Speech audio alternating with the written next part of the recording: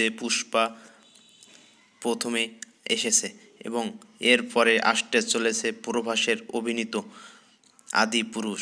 এটিও একটি অ্যাকশন ধামাকা মুভি।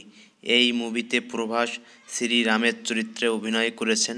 এই মুভিতে থাকছে প্রভাসের অ্যাকশন ধামাকা ও রোমান্টিক সব সিন।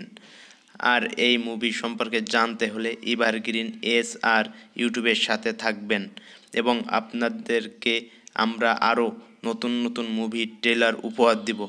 আমাদেরকে অনুপ্রেরণার জন্য সাবস্ক্রাইব করে আমাদের পাশে থাকবেন। আপনাদের সহযোগিতা আমাদেরকে অনুপ্রাণিত করবে।